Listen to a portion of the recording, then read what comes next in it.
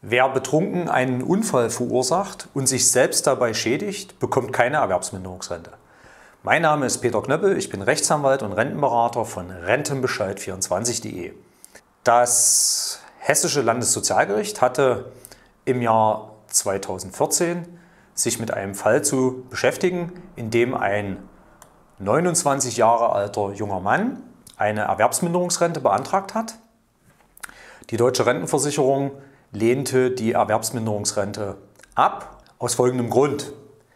Der 29-Jährige ist mit einem Blutalkoholgehalt von 1,39 Promille Auto gefahren und hat einen Unfall verursacht. Dafür wurde er von einem Strafgericht auch verurteilt und er hat sich bei dem Unfall auch verletzt. Und die Folge dieser Verletzung war, dass er nicht mehr selber arbeiten konnte. Deshalb hat er auch diese Erwerbsminderungsrente beantragt.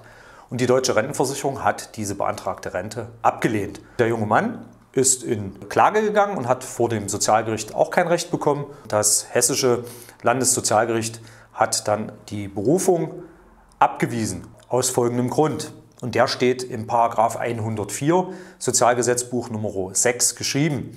Wer also durch eine Straftat sich selbst am Körper schädigt, dass er erwerbsgemindert ist und deshalb auf Leistungen aus der Versicherungsgemeinschaft angewiesen ist, hat keinen Anspruch auf eine Erwerbsminderungsrente. Das ist so der allgemeine Grundsatz. Und diesen Grundsatz hat das Hessische Landessozialgericht hier auch angewandt. Ein anderer Fall wäre, wenn jemand aufgrund zum Beispiel einer psychischen Erkrankung versucht, sich selber das Leben zu nehmen dann könnte man hier möglicherweise auch sagen, wer absichtlich eine Erwerbsminderungsrente herbeiführt, wenn sich jemand eine Axt ins Bein haut. Aber das wäre in einem Fall einer psychischen Erkrankung schon höchst problematisch, zu sagen, dass jemand sich in eine Situation bringt, dass er eine Erwerbsminderung absichtlich herbeiführt. Also ein solcher Fall ist auch denkbar, aber begrenzt wirklich auf die absichtliche Herbeiführung einer Erwerbsminderung.